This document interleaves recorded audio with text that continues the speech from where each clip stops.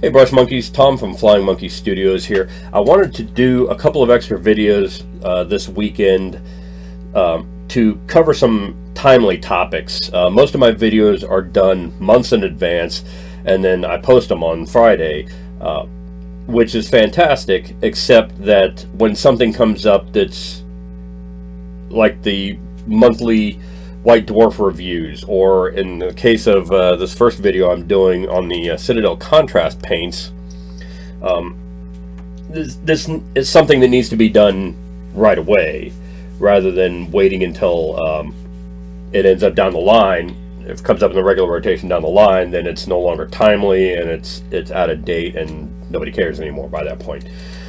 So um, anyway, uh, like I said, this first video is going to be about um, the Citadel contrast paints. And I wasn't originally going to jump on this bandwagon. My Facebook feed has been blowing up with these things. Um, everybody and their cousins doing uh, contrast paint videos right now. It's the latest big thing from Games Workshop. And I am not a huge fan of Games Workshop's paints. Um, now, when I when I painted miniatures years ago, I took a I took about a 15 year hiatus from miniature painting. And between like 96 and 97 to about 2012 when I started when I picked it up again.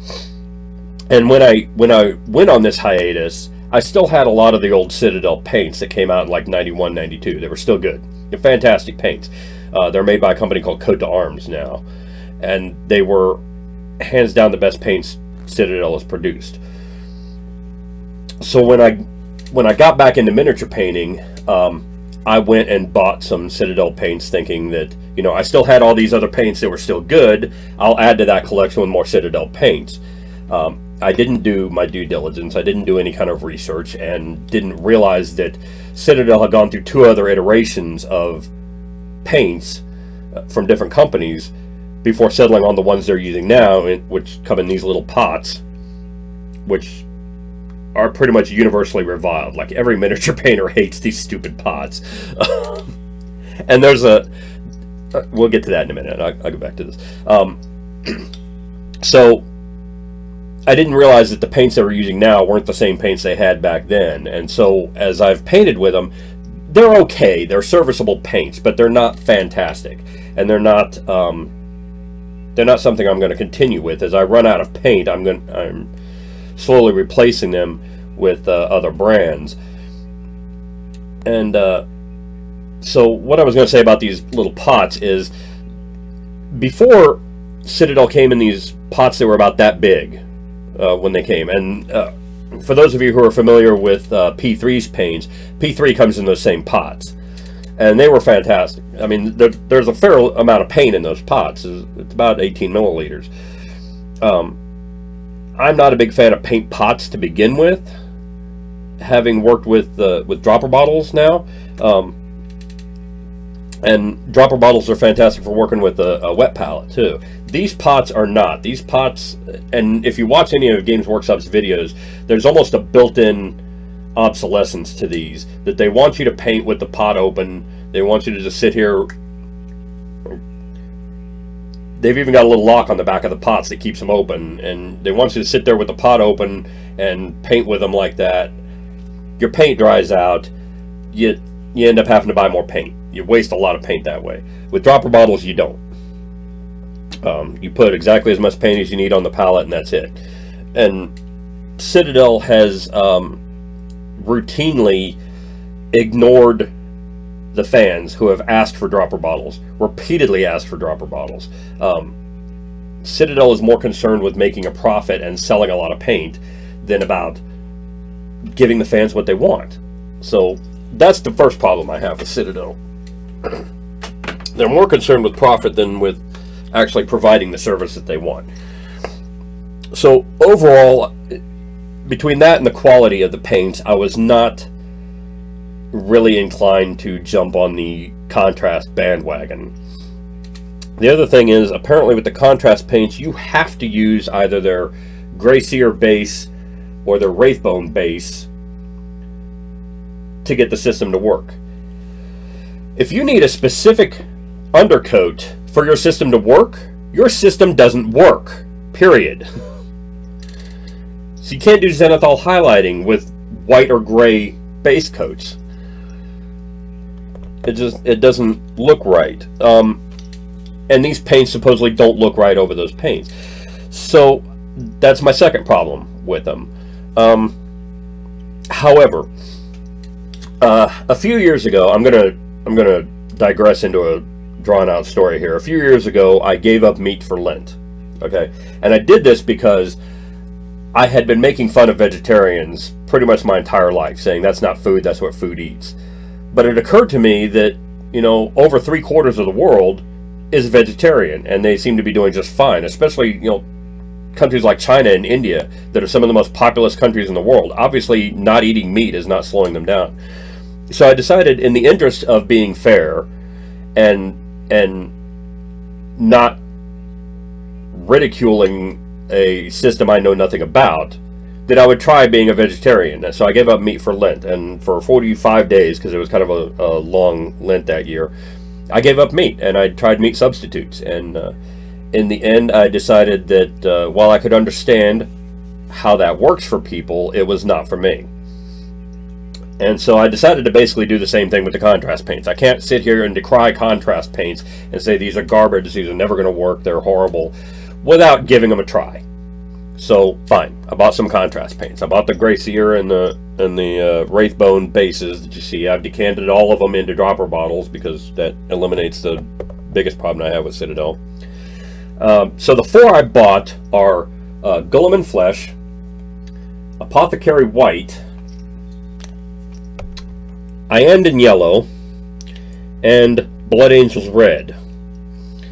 And I bought these because um, I gave this a lot of thought. Um, flesh color, any kind of flesh color has always been a problem for me. It's not really a problem, more of a hassle. Is like I don't like picking a flesh tone and then picking a shade and highlight to go with it and all this kind of thing. There's such a huge diversity of flesh tones in the world that just calling something flesh is borderline racist to begin with, uh, because nine times out of ten it implies just white flesh.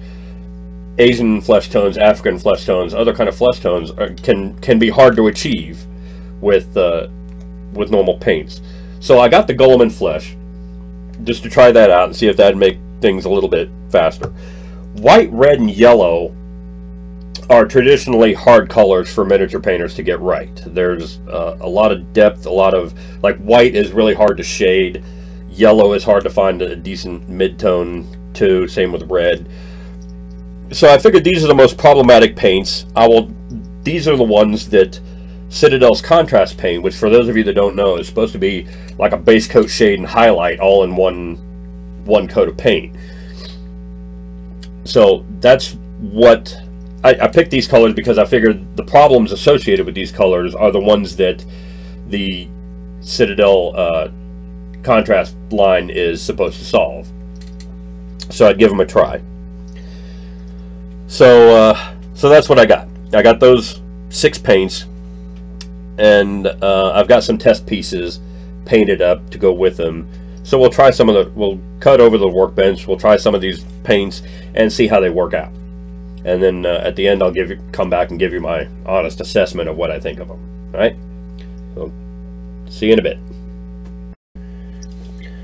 All right, Brush Monkeys, we're back. And as you can see, I've got some test pieces made up for the new Citadel paints. These are the contrast paints I'm using. Um, what these are, these are some test sticks from Secret Weapon Miniatures, and these things are fantastic. Um, I strongly recommend picking up a set of these.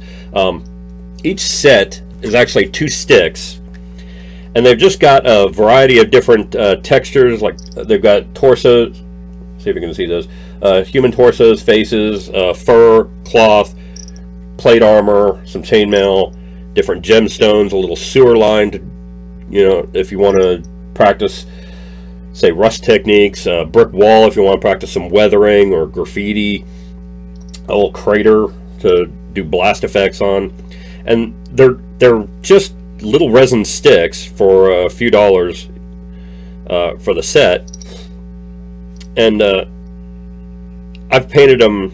I've done one in gray, one in black, and one in white just to get how different effects or different uh, undercoats cause different effects in the paint. And then I glued magnets on the back so I could stick them to my workbench. But these are definitely worth picking up, especially for something like this where you just want to try out a new technique or you want to um, try a different kind of paint or whatever. And as you can see, I've done the, the male and female torsos, the two faces, and the cloth on this one, and then just the cloth on the black and white ones in the um, Wraithbone undercoat. And then here I've got some bits out of my bits box. I've got a little Space Marine head. I've got a couple of Space Marine arms and then I've got a Tau arm that I'll do the uh, the flesh, the red and yellow, and the white um, on those to to uh, to try them out. So since those are those are all um, dry, let's just go ahead and get into it. Let's start with the Guilliman flesh here, and right off the bat, when I was decanting these, I noticed they're really thin. A lot of people have, have compared them to the old Citadel inks um, because of that, I'm not using my wet palette for them, obviously. I'm just going to put them right onto my dry palette here. And that is really thin. Um, I did not thin these down at all. I just poured them directly into the pot. The two base coats I did thin down and probably didn't need to because they turned out to be pretty thin anyway. But um, we'll go ahead and stir that up and slop some paint on this thing here. And supposedly the big selling point of this is the one thick coat. You just slap it on and it does what it needs to do. So that's exactly what I'm going to do. Hope for the best. That may be a little bit much on that one.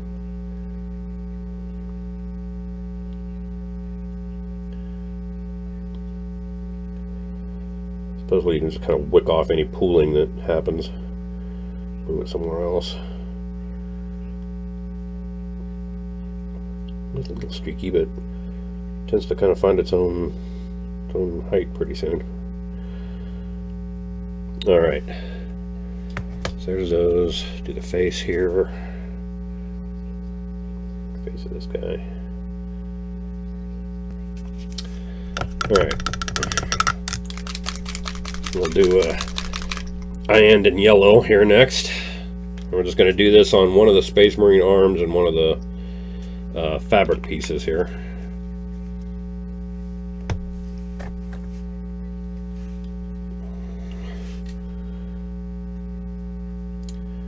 And uh, I don't recall whether I mentioned I did the the bits in Gray Seer, which is the other base coat. So you'll be able to see on this video what they look like with the Wraithbone undercoat and what they look like with the Gray Seer undercoat.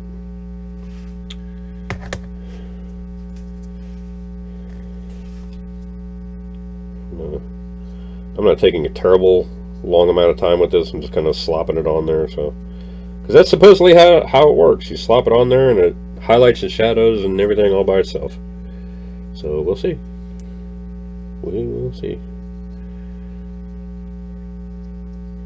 I've seen a lot of reviews of these um, one way or the other online. Um, some of them are, are, It seems like the ones that are from Games Workshop employees and from Games Workshop affiliated people and people who got the paint sets for free, uh, of course, are all fantastic reviews. The ones from independent people or those who paid for the paints all say they're crap. So I don't know. Like I said, we'll see what's going on. Um, all right, Blood Angels Red is next. Um, again, piece of fabric and Space Marine arm put this one on the black base coat. The the primer, because you have to use the Gray Seer or the Wraithbone base coat, the kind of primer you use really doesn't seem to make a difference. It, it doesn't really matter. Um, the base coats are kind of thin for base paints though, so I, found I had to put like three coats on before I got a decent smooth coverage on there. Which kind of goes against their yeah, just do one thick coat and everything will be fine. So, I gotta say, putting them on, uh, it feels more like a wash than a paint, and that's kind of how it handles, is, a little bit more like a wash. Um, it does seem to go on kind of smooth, and it's really high pigment because it covers the base coat really nicely. Um, I'll be honest, I was prepared not to like these. but uh, I, I kind of dig how they're handling. Um, all right, last but not least, Apothecary White.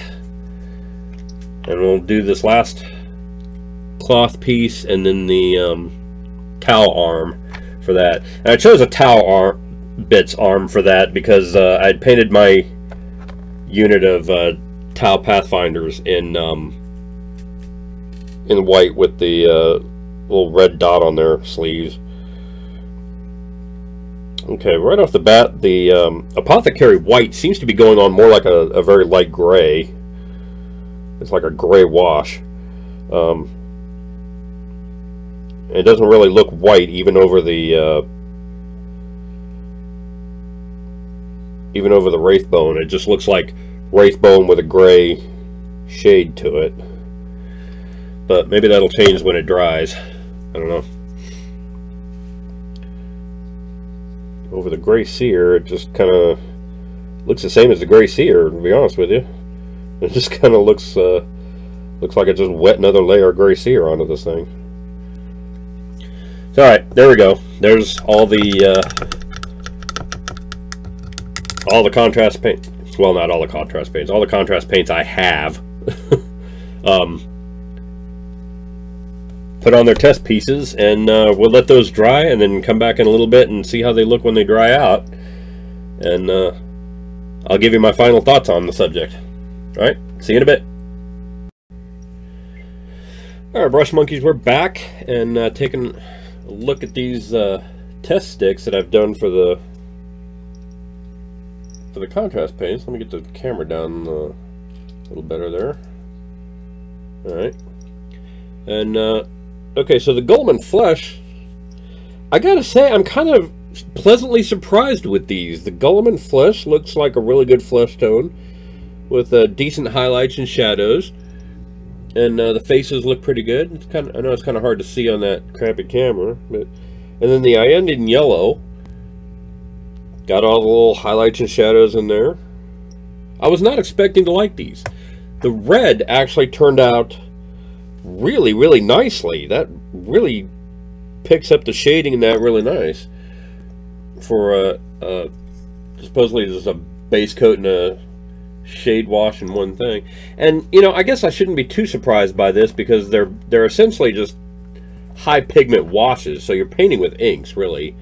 Um, the white actually looks better than I thought. I would probably, if I was painting white, um, I would probably start with the Apothecary White, but then I'd give it a, a like a dry brush of white because that still looks like bone with gray highlights to me. And that's over the um, the Wraith Bone. Over the gray, the Guilliman flesh came out a little redder than it did on the over the Wraith Bone. So it came out a little bit darker, a little reddier. That's all right. Um, the Iyanden Yellow looks pretty good. Um, over the bigger plates, there's a little bit of pooling in some of the lower areas, but uh, it seemed to do a pretty good job of the highlight and shadow. The red, out of all of them, I think the red is my favorite. The red really came out looking... Oops, keep that on camera there. Get the yellow on camera. Sorry, I got so wrapped up in looking at it that I forgot to actually uh, pay attention to where it was on the camera. The red actually looks pretty good from the looks of it. Um, yeah. Okay. The Apothecary White, I can... I don't know. Again, I can see some shadows in there. It looks like a... It still looks like gray with kind of a bluish wash highlight, or bluish wash shadow. It doesn't look... It doesn't look white to me. I would probably give this a, a dry brush of white over the top of it to get it to actually look right. Um, okay, so out of all of them, I gotta say, or out of the out of the four I tried, I will say this: I, I am most pleased with the red. I'm probably the least impressed with the apothecary white. Um, the others seem to work pretty well. Seem to work pretty much as advertised, which kind of surprised me. Um, I actually like the red so much. I took one of the uh, uh, Demons of Khorne, on these blood letters, from the uh, uh, Realm of Chaos box set that I'm working on, and there'll be uh, videos on these guys later, uh, probably in a couple of months. But um, I like how the red came out so well that I tried it on this guy because when I painted the banner on that, you can see the kind of fade I've got on the banner going from red down to almost white, hot white. Um, the that also kind of oversprayed onto the figure. So he didn't have just a pure um, Wraithbone base. I, I actually kind of I Zenithal primed him, so from the bottom he's a little darker, and from the top he was a little lighter, and then he got that overspray from the banner on him. And I didn't repaint him; I just slopped on the red over that. And it seems to be doing exactly what it's supposed to do. It's a little darker in the places where it's supposed to be darker. It's it's shading nicely. Um, and I think this is going to be a really going to end up being a really good color for these guys. I think I'm going to try this on all these Khorne demons when I go to paint them. I'm going to do them in that uh, contrast. What is it? Blood Angels Red. Um, so yeah, I, there's my uh, initial thoughts on it uh, upon testing. So I'm going to pause here and move on to uh, final thoughts. Thanks. All right, so um, my test of the contrast paints, I gotta say I'm pleasantly surprised with those. I, I'm not gonna go out and buy the entire range and test the entire range. It's 38 paints. I'm not gonna, I'm not gonna mess with that. That's just a ridiculous expenditure to go through, especially at 780 a bottle. Um, I'm not gonna go through all that just to uh, that I tested that are traditionally problematic colors for miniature painters came out surprisingly well. I, I really was not expecting to like those. I really wasn't expecting it to be um, uh, to, to work the way they were advertised as far as being the base coat and shade and highlight all in one step. Um, I can see where for I can kind of see both sides of the issue. I can, I can see where where people would not like them because it basically takes something that you've worked really hard to learn to kind of a Fisher Price my first paint set and and oversimplifies it. Uh, on the other hand, I can see where these would be good for beginner painters because we all know that guy at the game store that shows up every Saturday and plays Warhammer all day long. Gray plastic, and he doesn't paint anything. Um, and this would be useful for getting him to to actually put some paint on the figures because you can do a large army very quickly with this kind of thing. Um, no more putting on the base coat, waiting for, for to dry. Wait, putting the shade wash on, waiting for it to dry, put the highlights on, do the details, blah, blah, blah. Paint, paint the details and you're done. Um, having actually tried it on a figure, I can tell you that you don't necessarily need the Wraithbone and Grey Seer for it to work. Some of them seem to work better over those. Um, I'm looking at the test piece, and some of them look like they work better over the the prescribed on the figure that just had regular zenithal priming, he still looks pretty good. Um, I was really not expecting to like these. I was really expecting to, to say, oh, well, this is another crap product that GW threw out there. Um, I'm surprised, uh, I'm pleasantly surprised with those having said that, on the other hand, um, I, I'm still kind of aggravated that GW put out a whole new line of contrast paints aimed at new painters instead of paying any attention to the overwhelming uh, hammer community and the miniature painter community that have been asking for things like dropper bottles and uh, wet palettes and decent brushes and just flat out ignored all that and said, oh, hey, here's a whole bunch of new paints. And, uh, and haven't even put out like quality paints for those experienced miniature painters. They just, they came out with basically a dumbed down paint system for new painters instead of, uh, and not paying any attention to their experienced ones. Disappointed in that, but, you know, I don't see that changing anytime soon, so I guess there's no point in holding a grudge about that. Um, so yeah, my uh, my final impressions of the paint line is they are not as bad as I had imagined them to be. Um, I can see where they have their uses. I can see where uh, new painters are going to be able to produce some pretty stunning effects with these. I think uh, experienced painters are going to be able to come up with some really cool stuff with this. I'm, I'm kind of looking forward to trying them out on this uh, Realm of Chaos army that I've been working on. Um,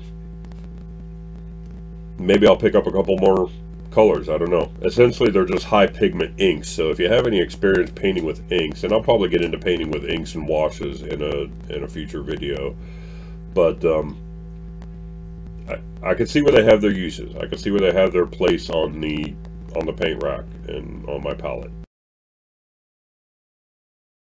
Take that as you will. Um, hey, Brush Monkeys. Uh, Tom from Flying Monkey Studios here. Uh, if you like what you see, click like down below. If you want to be notified when new videos are posted, click on subscribe. Leave a comment below on what you want to see on future videos. And um, be sure to visit our Patreon site, our Twitter, Instagram, and Facebook pages. Uh, the links are all in the video description below. I'll see you later. Thanks a lot. Bye.